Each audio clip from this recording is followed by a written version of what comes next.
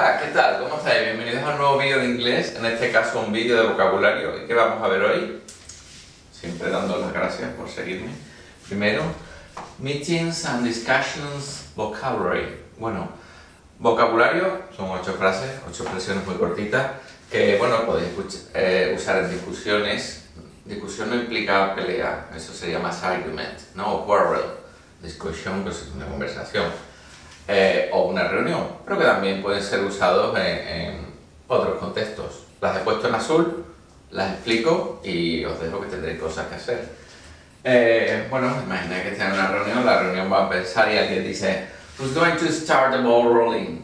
Who's going to start the ball rolling? Que claro, no son literales muchas, ¿no? Quien va a empezar a echar la pelota a rodar es, bueno, ¿quién empieza? ¿Quién le da comienzo a eso, ¿quién va a empezar a poner las ideas? Start the ball rolling. I want to speak my mind today significa eh, hoy quiero eh, decir todo lo que tengo preparado, todo lo que tengo en mente, soltar todo lo que traigo, que no se quede nada. I want to speak my mind today. Esa sería la segunda.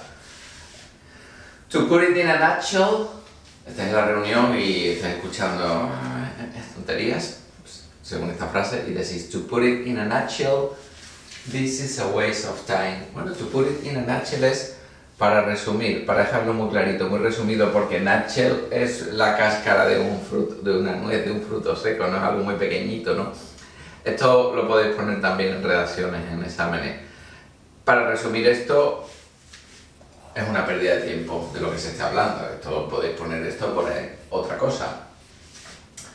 Bueno, vamos con esta, porque dice, You're all so long-winded bueno, eh, lo que viene a significar es que le dais muchas vueltas a algo. Eh, winding es tortuoso, no sé si conocéis la canción de los Beatles, de The Long Winding Road, del camino largo y tortuoso, wind, que da muchas vueltas. Pero he aquí que nuestro seguidor, al que saludo, seguidor número uno, Robert, de, inglés, que está guay que te siga en inglés porque te da ayuda, dice que en Inglaterra esto no, más americano, Long-winded speech, un discurso que dé muchas vueltas, sí lo ha visto, pero aplicado a una persona, no, él no lo ha visto nunca. Y eso que yo esta información la he sacado de un libro de inglés bastante fiable, pero bueno, los idiomas van evolucionando y el que está allí en el terreno dice que, que se aplicaría más a, a una charla, a un discurso con una persona. Americano sí. Long-winded. I hope we wrap up the discussion by 11.30. Espero que terminemos. Wrap up es enrollar, ¿no? Espero que tengamos esto ya listo, acabado para las once y media, me tengo que ir. Le he dado una silla. Esta es la siguiente.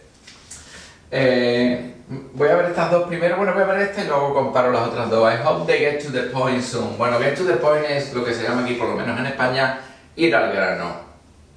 A lo, que, a lo importante, get to the point. Se lo puedes decir una persona cuando te esté contando una historia y dice y tú estés aburrida o estas personas que te meten una historia y dentro te meten otra y dentro otra y ya no sabes de lo que están hablando, le dice get to the point o straight to the point. Y para el final estas son contrarios, ¿no? Son opposites. He always talks rubbish, que yo creo que se traduce muy fácil, siempre dice tonterías, rubbish es basura, ¿no? Él, él no dice nada importante. Y lo contrario sería she always talks sense. Ella siempre dice cosas con sentido. Así que bueno, estas son las expresiones que os he propuesto hoy y como siempre muchas gracias a todos.